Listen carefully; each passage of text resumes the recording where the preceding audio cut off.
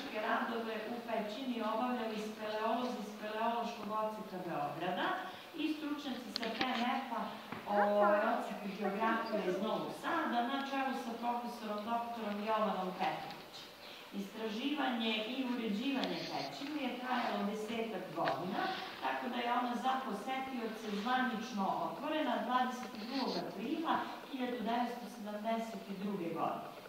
Ukupna dužina svih pronađenih pećinskih kanala iznosi 4,5 km, detaljno je istraženo 2 km i 850 metara tih kanala, dok je staza koja je uređena i otvorena za posetioce druga svega 800 metara, to je ova.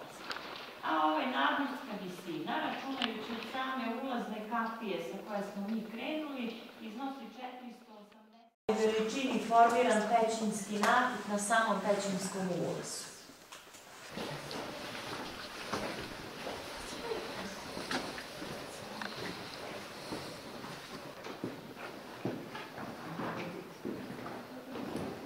pronađeni fosilni ostaci praistorijskih ljudi koji datiraju iz doba paleolita. Pa je uglavnom oruđe kojim su se ljudi služili, vrhovi kamenog koplja, kamena sekira, pronađena je takođe jedna lobanja polarne lisice, kao i ognjišta praistorijskih ljudi koja datiraju iz različitih etapa ledenog doba. I postoji ta neka pretpostavka da su praistorijski ljudi živeli na ulazu, ne baš u samoj pećini, ali su podzemne vode prilikom poniranja nanele sve te ostatke baš do ovog dela pećine.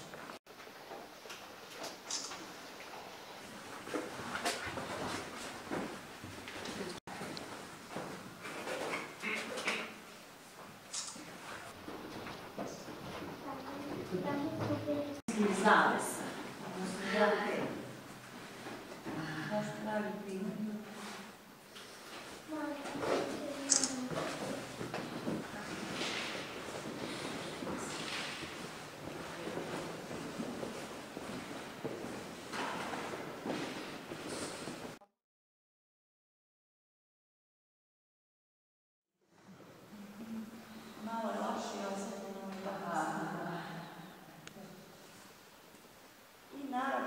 Nešto nižim delovima pećine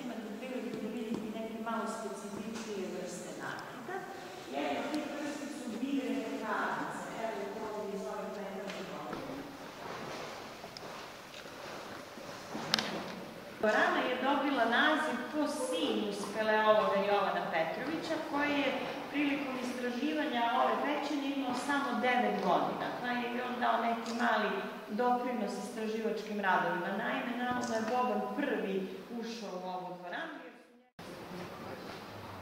su njega bila unutar pećine sa posetiocima kad je bio zemljotres, to je neki slabiji, ne znam koliko je. Ja nisam osetila potres u pećini, samo sam osetila neki blagi vetrić, ali ne...